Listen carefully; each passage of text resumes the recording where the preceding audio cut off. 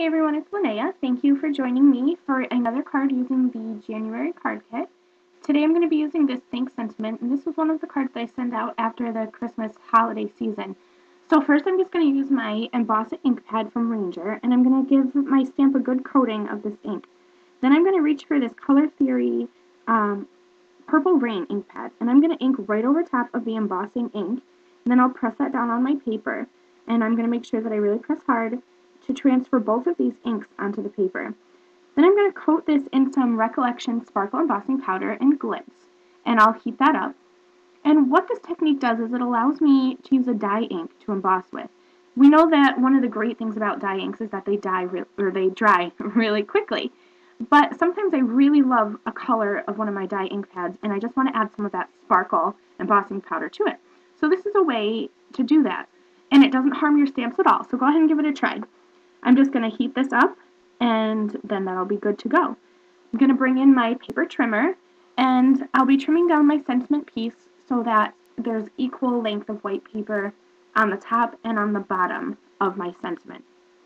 I was lucky enough to receive the extra embellishment pack in my kit this month. So I took this Winter Rules pattern paper and I trimmed it down so that it'll fit on the top of an A2 card and I'm going to use some of the regular pattern paper that I cut into strips, and I'll adhere that down with Tombow Mono multi-glue.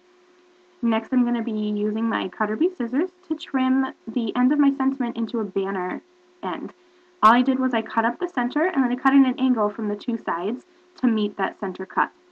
I'll use tape runner adhesive to stick that down onto this pattern paper, and then I'm going to adhere with Tombow Mono Multi-Glue some more of the arrows and banners that came in that extra embellishment kit.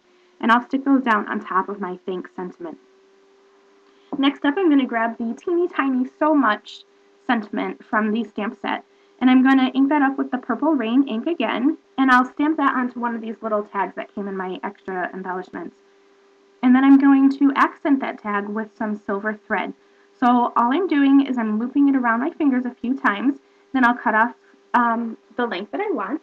I'll thread that through the top of my tag, tie it in a knot, and then trim off the ends. I'm going to use a bit more of this thread using that same technique. I just looped it around my fingers, but then I grabbed a glue dot and I pinched that thread in the middle. That way I have two loops on each side, and I stuck that down, and then I'm going to use some liquid glue again just to stick down that tag on top of the silver thread so it's peeking out either side. And all that's left to do is to grab my Scotch ATG runner and adhere this whole panel onto a standard Neenah Solar White top folding A2 card. And that's it for today, guys. Thank you very much for joining me. I hope you'll hop over to my blog and see more of the cards I've created with this card kit. Thank you. Bye.